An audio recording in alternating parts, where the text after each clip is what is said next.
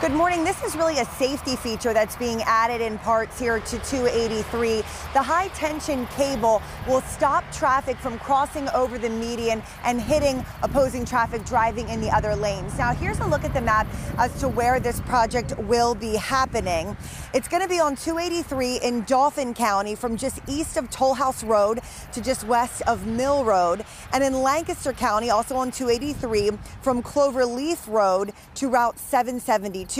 Work on the $3.2 million project is expected to start at some point today. And of course, this could affect drivers due to the construction that will be going on. I'm going to send it over now to Brittany Garzilla to show us how that could impact your morning commute. Good morning, Brittany. Yeah, good morning to you, Shannon. I just want to go over again where this is in Dauphin County to Route 283 here. This is between uh, East Toll House Road to west of Mill Road. So that's up to about two miles there. So definitely a good idea to give yourself some extra time if you're commuting there. And then into Lancaster County, it's even a further stretch here. It's east of Cloverleaf Road to west of 772, and that would be up to four miles. So again, definitely a good idea to give yourself a little bit of extra time.